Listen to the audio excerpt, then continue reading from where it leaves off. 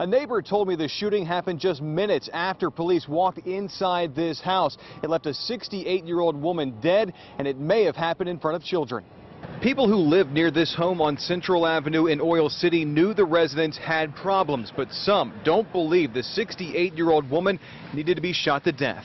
Think they could have handled it uh, totally different than what they did. We're told police were called here around 9 o'clock by a family member who said a 68-year-old woman was having some sort of mental breakdown after a family argument. Children were in the home and the woman was possibly threatening to kill herself.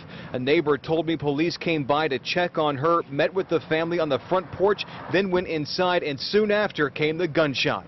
Shortly within four minutes, three minutes, we heard a pop. At this time, I can confirm that the incident did result in the death of a female. Investigators won't say why the officer opened fire, but we have been told the woman had a knife and may have threatened someone. Even so, some on this street believe police should have been able to handle the situation without killing her. They had seconds there that they could have done something different other than shooting her. Distraught family. And it's a tragedy. It's a tragedy. What's really tragedy is the little kids. That's the tragedy. The woman's family has not come back to this house since the shooting last night, and right now state police are trying to explain why this incident turned deadly.